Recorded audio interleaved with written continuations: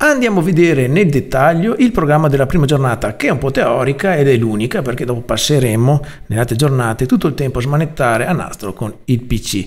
Allora, nella prima parte della uh, mattinata virtuale si parlerà di cos'è e cosa non è una tesina. Poi passeremo ai materiali, cioè cosa reperire, dove reperirli, come organizzarli. Nel pomeriggio virtuale Parleremo invece di grafica, cioè i caratteri, quali sono, quali usare, alcuni cenni di composizione grafica, cioè organizzazione degli spazi e così via. Andiamo nel dettaglio a vedere cos'è e soprattutto cosa non è una tesina. Cos'è? È una ricerca personale su un argomento, un tema specifico che avete magari scelto voi, che va sviluppato secondo uno schema che va progettato. E questo schema deve contenere degli elementi fondamentali che vedrete a brevissimo. Cosa invece non è una tesina? Eh, non è un copia e incolla spudorato, anzi per ricordarvelo, do not, perché è chiaro che il vostro lavoro avrà preso spunto so, da letture, dalla visione di materiale creato da altri, ma questo non significa che dovete limitarli a riportarlo pari pari, anche perché vi sgamano ed è spesso illegale. Non vuol però nemmeno dire di non impegnarsi nella ricerca bibliografica o in internet, anzi, dacci dentro, andate in profondità. Vorrei ricordarvi a tal proposito che selezionare materiali tra le miriadi di informazioni presenti in reti è un'attività fondamentale, e lo sarà sempre di più, che dimostra la vostra capacità e il vostro spirito critico. Quindi, tip, non nascondetela. Quindi vedi, inserisci bibliografia, sitografia e così via. Vi parlavo di uno schema di lavoro e delle sue parti fondamentali.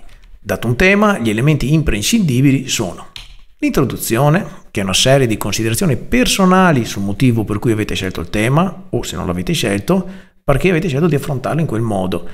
È la parte che dovrebbe indurre un ipotetico lettore ad andare avanti.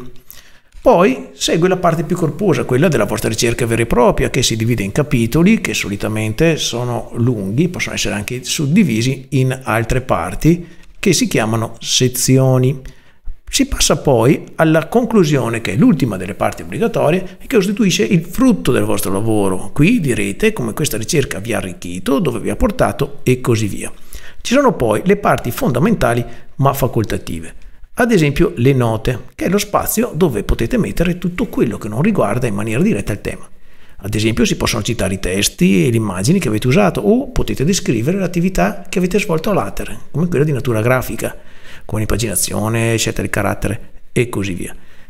Consiglio, il lavoro che avete fatto dietro le quinti e che è stato comunque oggetto di elaborazione, di progettazione, di fatica, va mostrato, quindi le note sono la parte giusta dove farlo. Si va poi alla bibliografia o la sitografia, che come dicevamo prima mostra proprio la vostra capacità critica di scelta. E poi l'indice, che ho messo in fondo, ma potrebbe anche essere messo all'inizio. In ogni caso, è una parte molto importante perché descrive in maniera sintetica l'organizzazione del vostro documento. Se infatti eh, prendete questo schema e lo di- riscrivete in maniera verticale su un'unica colonna, ci si accorge quanto lo schema di prima e l'indice siano simili perché mancano solo i numeri di pagine. Quindi in realtà il vostro progetto dovrebbe proprio partire da lì. Parlando delle note abbiamo parlato di testi e immagine e questo introduce il secondo argomento della giornata, i materiali.